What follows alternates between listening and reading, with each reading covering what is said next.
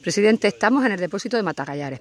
Hemos, lo hemos visto, tiene capacidad, me han dicho, para 20.000 metros cúbicos de agua.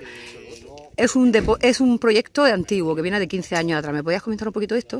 Bueno, lo realizó la Junta de Andalucía para el suministro del agua de abastecimiento a la población de Salobreña. Estaba previsto que la fuente de llenarlo fuera el, río Guadalfeo.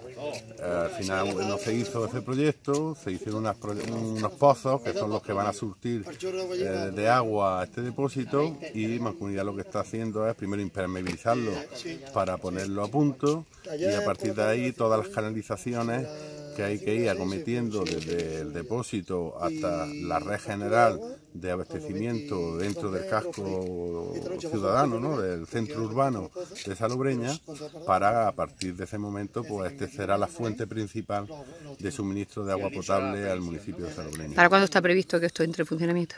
Nosotros calculamos que antes del verano debe estar ya todas las canalizaciones previstas e instaladas y toda lo que es la infraestructura del propio del propio sistema, del propio depósito a punto, pues para tener garantía de que no va a haber ningún problema, porque hay que hacer pruebas y una vez que se hagan esas pruebas, pues a partir de ese momento el agua de abastecimiento de Salobreña fundamentalmente vendrá de estos depósitos esto asegura completamente los problemas de, agua que pudiera tener Salobreña en cualquier momento, porque son muchas cantidades de agua. Evidentemente porque eh, según se vaya gastando va entrando de los pozos que tenemos eh, aquí abiertos y por lo tanto no va a haber ningún problema. ¿Y la inversión de Mancomunidad?